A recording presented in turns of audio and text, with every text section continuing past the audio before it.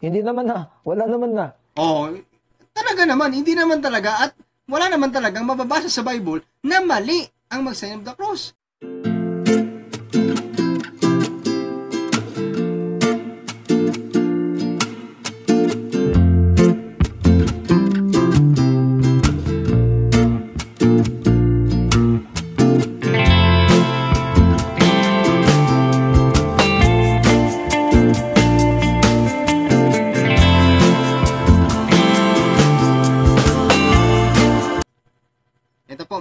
Kapatid, ang ating tatalakayin sa gabing ito.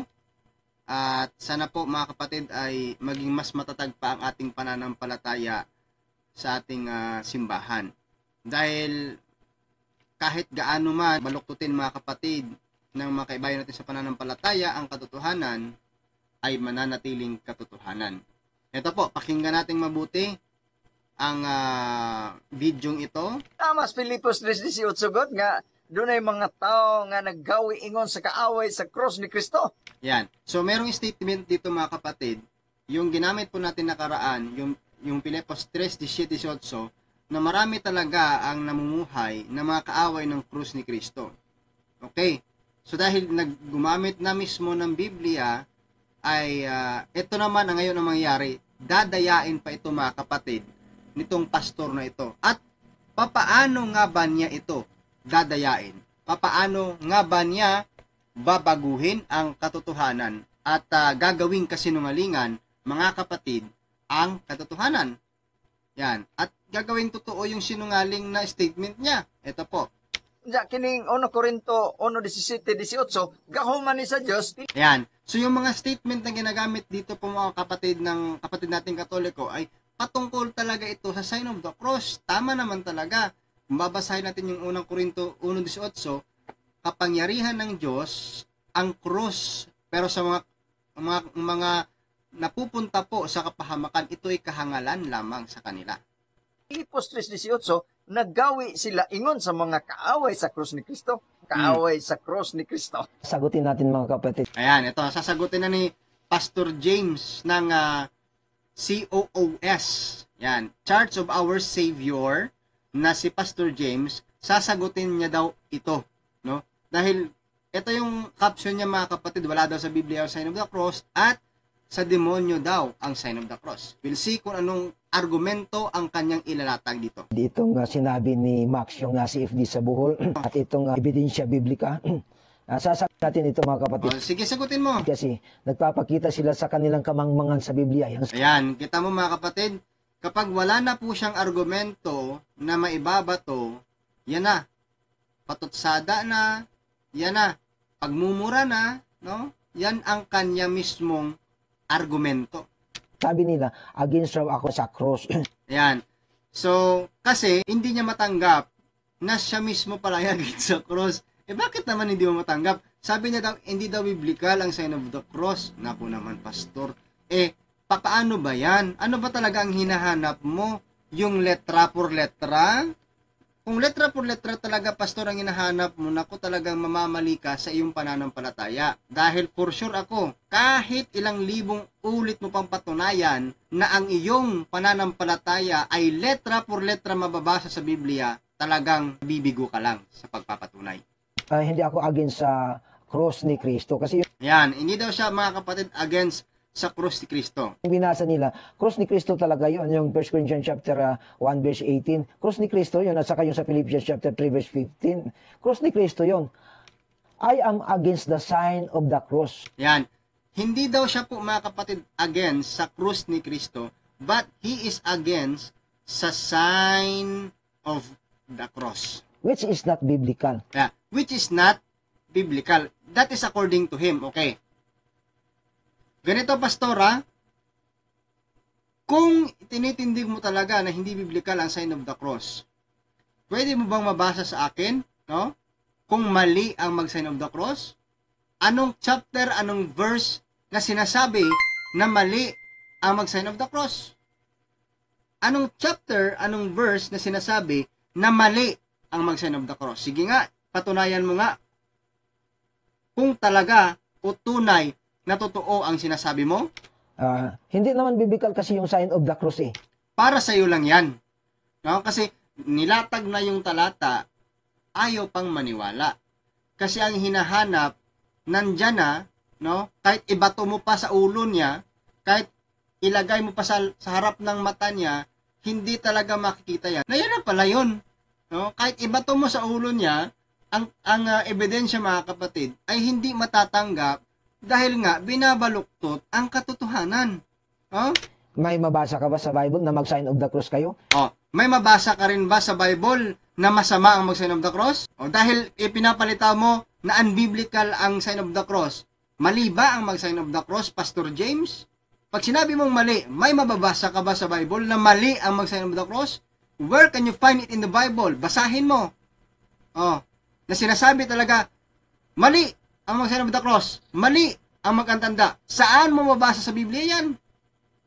See? You can stand na ikaw ay biblical, pero hindi mo kayang patunayan. Yan po mga kapatid ha, maging aware po kayo dito. Kapag mag-argumento sila na hindi daw biblical ang mag-sign of the cross, simple arguments lang. Mali ba ang mag-sign of the cross? Pag sinabing hindi, hindi gagawin ko. Pag sinabi niyang oo, saan mababasa sa Bible na mali ang mag-sign of the cross? Sige, ipakita mo. Oh. Hindi naman na. Wala naman na. Oh, talaga naman, hindi naman talaga at wala naman talagang mababasa sa Bible na mali ang mag-sign of the cross. Therefore, tama. Di po ba, Pastor James? Tama talaga ang pag-sign of the cross. Mali lang kasi ang pagkakaunawa o ang pagtatanggap sa mga talata na ibinibigay at nilalatag sa iyo. Ha? Bakit? Nung una Oh. kasing ginamit yan, nung 300 AD. Oh, Oh, ah, Ah. matagal nang tapos yung Bible. oh. Kaya wag kayong ugok mga CFD pa naman kayo. See, kita niyo mga kapatid, hindi talaga kayang tanggalin sa dila niya at sa bibig niya ang pagmumura. Oh? Ewan ko ba kung kumikita talaga siya sa pagmumura, mga kapatid. Pero ito ah, pansinin lang natin yung katotohanan dito.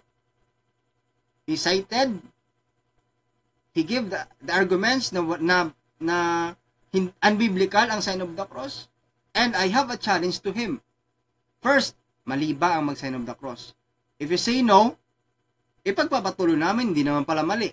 If you say yes, saan mababasa sa Bible na mali ang mag-sign of the cross?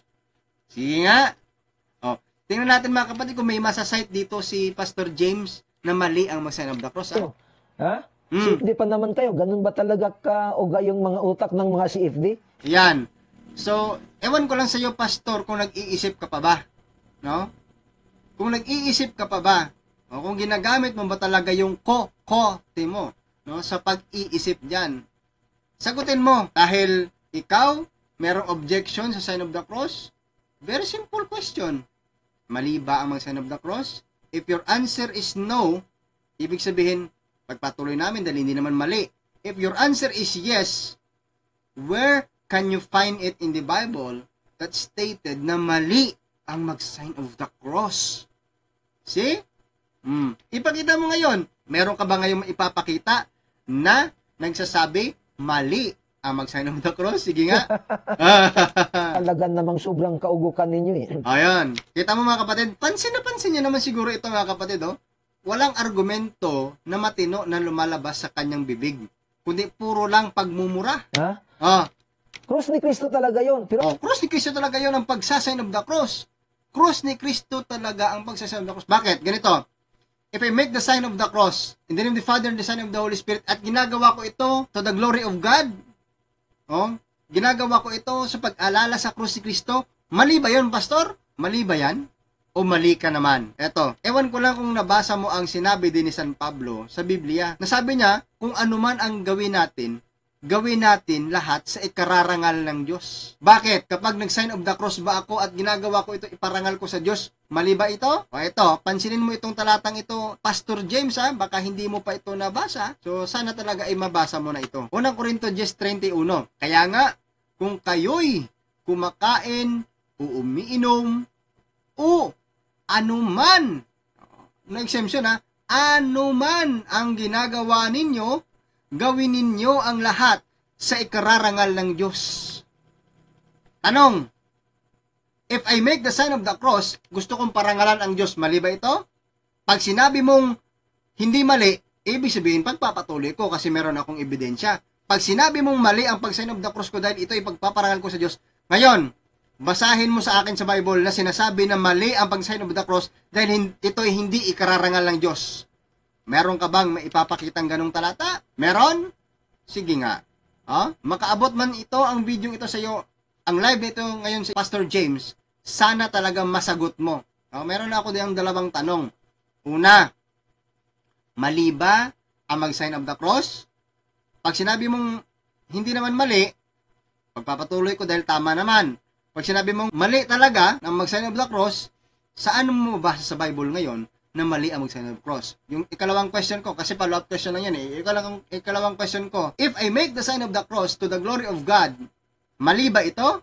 Pag sinabi mong mali, where can you find it in the Bible na sinasabi, if I make the sign of the cross, ito ay hindi pagpaparangal sa Diyos. See? Ang sinabi ko, sign of the cross, kung Oh, sinabi mo nga, sign of the cross. Salamat! Dahil ang sign of the cross, biblical. Dahil ang sign of the cross, unang Korinto 1.18, that is power of God. No? Galatia 6.14, ito ang ipinagmalaki ni San Pablo. And this is why, and this is the reason why also I make the sign of the cross dahil gusto kong parangalan ang Diyos. Ikaw, kung ayaw mong parangalan ang Diyos, sa'yo na lang yun. O, tapusin natin mga kapatid kung meron ba siyang maisa-cite dito sa kanyang pahayag na mali ang mag-sign of the cross. hindi lang kayo Saan kaya sa Biblia mababasa yan? yung mga tuyo yung mga utak ninyo, maintindihan nyo yan eh. Ang ibig sabihin, mga kapatid, yung Hmm. sign of the cross, eh galing sa diabols yun. Yan. See? This is very clear. Wala siyang matinong argumento dito. No? Wala siyang matinong argumento dito. Patotsada lang pala. Ang alam niya, see? Nakita niyo po, hanggang sa natapos ang kanya mismong video, wala siyang na-cite na kahit single chapter, single verse na nagsasabi mali, masama, mag-sign of the cross. So, ibig sabihin pa mga kapatid, ang totoo, nasa katoliko pa rin. Dahil si Pastor James nag-object, nag-oppose sa isang bagay na hindi niya kayang patunayan. Dalawa ang challenge ko sa iyo, Pastor James, ha? at merong follow-up question yan. The first question is, mali ba ang mag-sign of the cross? If your answer is no, ipagpapatuloy ko ito dahil hindi naman para mali. If your answer is yes, Follow-up question ko, saan mo mababasa sa Bible na mali ang mag-sign of the cross? Anong chapter? Anong verse? Second question ko, ginamit ko ang unang Korinto 10.31 na sinasabi doon na anuman ang inyong ginagawin, kumakain man kayo, umiinom man kayo, anuman gawin ninyo, gawin ninyo ito sa ipagpaparangal ng Diyos. If I make the sign of the cross sa pagpaparangal sa Diyos, tanong, mali ba ang ginawa ko? Pag nag-sign of the cross ako, ipaparangal ko sa Diyos? Pag ang sagot mo ay mali ang, ang ginawa ko, saan mo ngayon mabasa sa Bible na if I make the sign of the cross mali at hindi ito pagpaparangal sa Diyos? No? May objection ka, dapat may sagot ka. No? Dapat malalaman mo ang katotohanan dito. Yan po mga kapatid ha, sa Diyos po ang lahat ng papuri at kadakilaan magpakailanman. Amen.